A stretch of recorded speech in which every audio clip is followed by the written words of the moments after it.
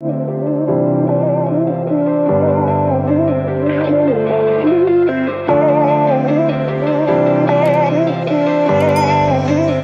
y'all, so today I'm going to be doing my friend Sianity's makeup, a simple gold cut crease. If you want to see how I created it, just keep on watching.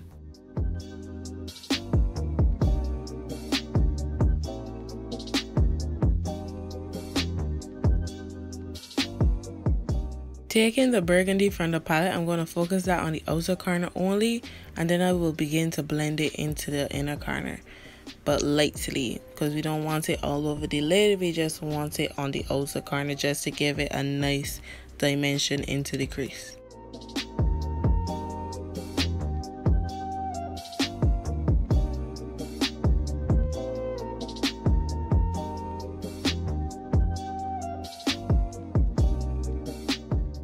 I'm going to begin to cut her crease and as you can see I'm really taking my time to make sure I get as sharp and as clean as possible.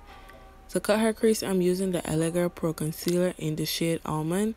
Like I said all the products will be in the description box below. I'm taking the concealer way above her natural crease because when she opens her eyes I still want you to be able to see what color she has on her lid. When I get the cut crease in the shape that I'm looking for, I drag down the concealer just to tap off some of that excess concealer from the top so that the cut crease can be smooth.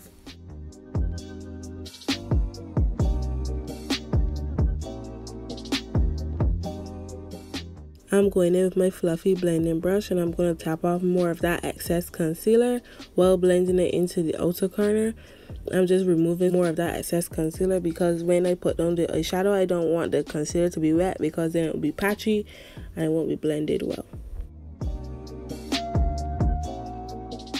Then I'm going in with another fluffy blending brush but this time I'm going in with some gold eyeshadow because the lighting changed you can't really see that it's gold but it is gold and I'm going to tap this all over that concealer that I put down on the lid.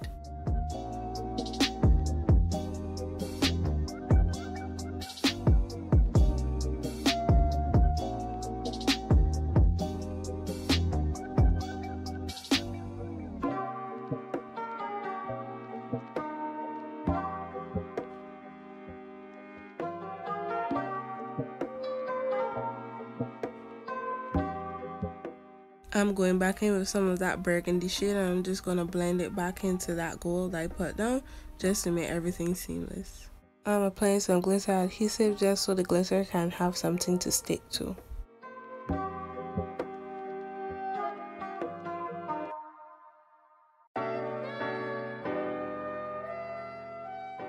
I'm going to begin sticking down some gold glitter onto her lids. I'm really making sure I press it in slowly just to make sure that it sticks to the adhesive underneath it. Then I'm going in with a smaller brush just to make sure all of her lid is covered with glitter. Then I'm going in with more of that adhesive just to stick some chunky glitters on the lid. With chunky glitter, you don't want to stick this all over the lid because it gets the eyelids pretty heavy and she doesn't usually wear makeup so to have glitter on your lid then plus chunky glitter is a lot so I don't apply much of this on her lid.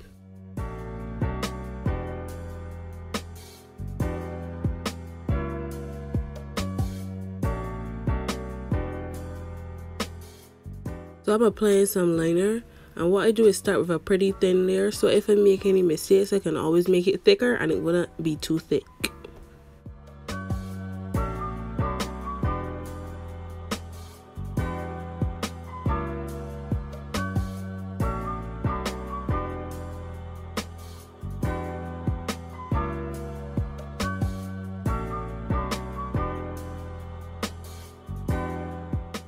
I'm doing the same thing to the other side, just applying some of that glitter, then I will begin to apply some of the chunky glitter afterwards.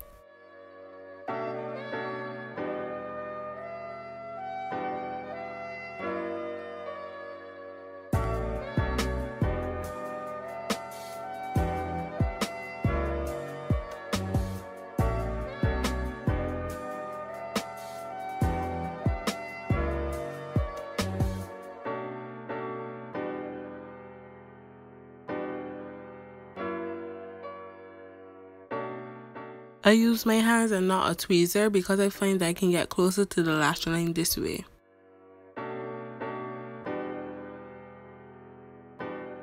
I'm going to begin recleansing her face with some witch hazel. I already cleaned her face before I started her makeup with witch hazel. Witch hazel has a lot of benefits.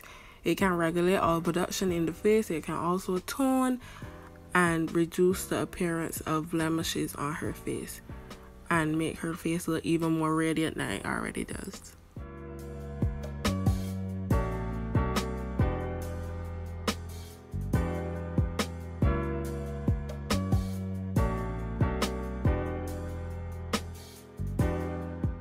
I'm just applying some foundation to her skin. I had to mix different foundations to get her perfect shade.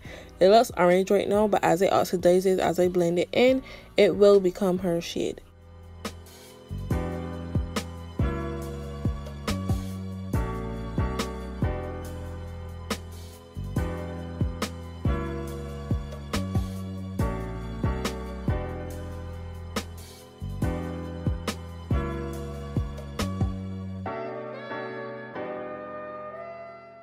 I'm going to begin lightly tapping her skin with a foundation brush.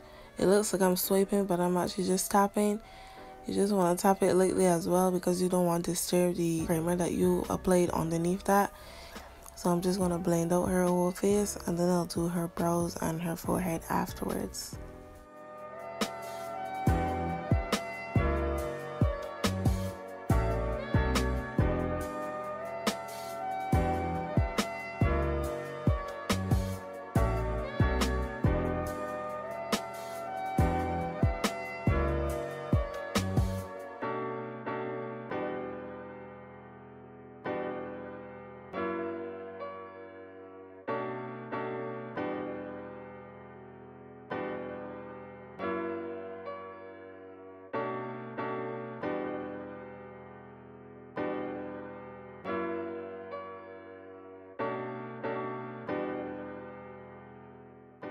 Because I know she has sensitive eyes, it can't go underneath her eyes with the big foundation brush. So I have to use a smaller fluffy blending brush. So that's what I'm going to do. Just to blend out that foundation under her eyes and between her eyes and her eyebrows.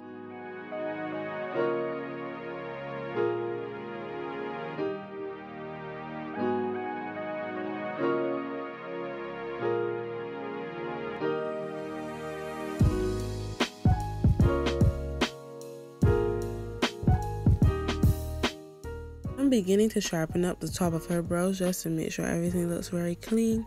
You want to take your time when you're doing this just to make sure you get it very straight and you don't take off a chunk of the eyebrow.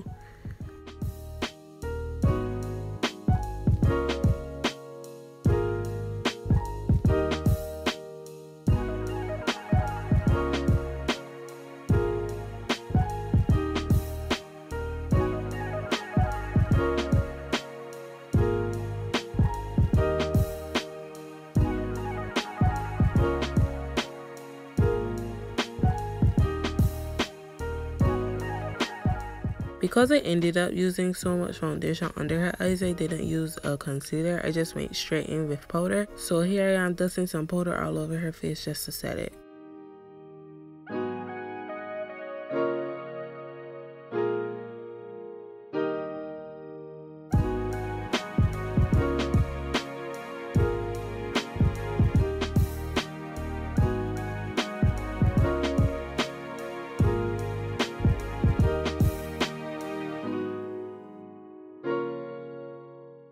Then I'm going in with some bronzer just to bring back some warmth into her face. She already has a pretty slim face, so I didn't go with contour. I only used bronzer.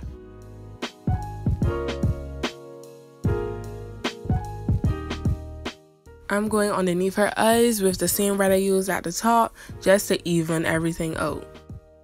I'm going to add some gold into the inner corner just to add that extra just that extra pizzazz that the look was missing. Y'all already know we all have highlighter. Like we need highlighter. We need it. So I'm just going in with some highlighter on her cheeks just to make everything pop in. She wanted a red ombre lip, so I'm beginning to line her lips with some brown lipstick. Then I'm going in with my angle brush just to clean up and sharpen up that line. Then I'm going to go in the middle with some red lipstick.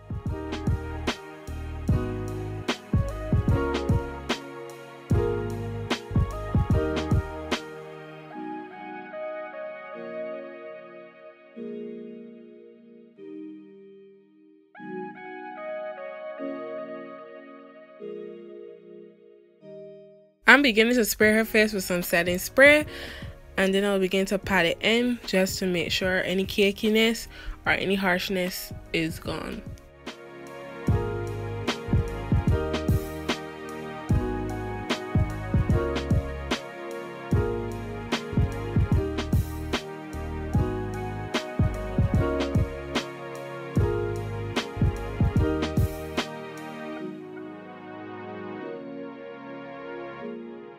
So this was the finished look and she was popping period. Look at that smile, honey.